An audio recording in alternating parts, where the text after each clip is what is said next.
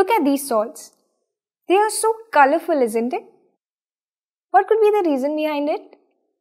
Let us find out doing some activity. We take copper sulfate salt in a test tube and we heat it. After heating, do you see the color change? Yes, the copper sulfate from blue has become white.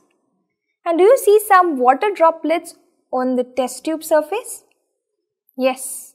That means copper sulfate crystals did have some water molecules in them. Now let us add few drops of water to the test tube. Do you see the color of the copper sulfate is regained? This indicates that the color of copper sulfate is because of water. Copper sulfate is attached to 5 water molecules. Each molecule of copper sulfate is attached to 5 water molecules due to which its color is blue. So we write the formula of copper sulfate as CuSO4 dot 5H2O. Similarly, the green colored crystals of ferrous sulfate, they are green because each molecule of ferrous sulfate is attached to 7 water molecules.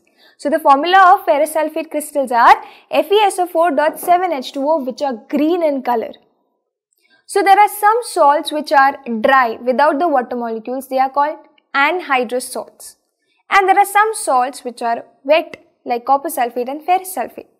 Now you can easily answer to this question. Is sodium carbonate decahydrate a wet salt or a dry salt?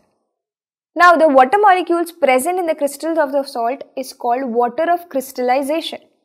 So we define water of crystallization as water of crystallization is a fixed number of water molecules present in one formula unit of the salt. Let's talk about the salt calcium sulfate. When one molecule of calcium sulfate is attached to two water molecules, this salt is known as gypsum. Now gypsum is a very hard substance which is white in color. Now when gypsum is heated at 100 degrees Celsius that is 373 Kelvin, one and a half water molecule from it is evaporated and what is left behind in calcium sulfate is only half water molecule. Now this calcium sulfate dot half water molecule is known as plaster of Paris. In chemistry we call plaster of Paris as calcium sulfate hemihydrate. Okay, calcium sulfate hemihydrate is a white powder that is plaster of Paris.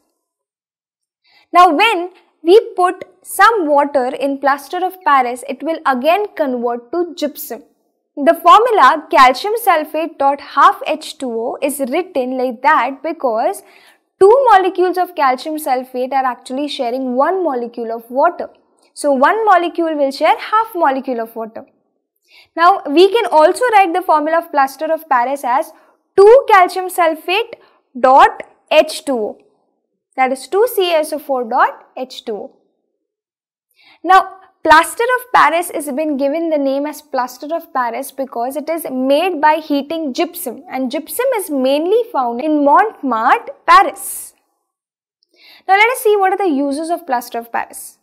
Plaster of Paris is used as a fireproofing material because it doesn't catch fire so it is applied on the ceilings.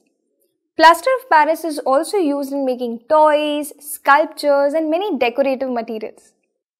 Even in hospitals, Plaster of Paris is used for setting fractured bones in right position to ensure correct healing.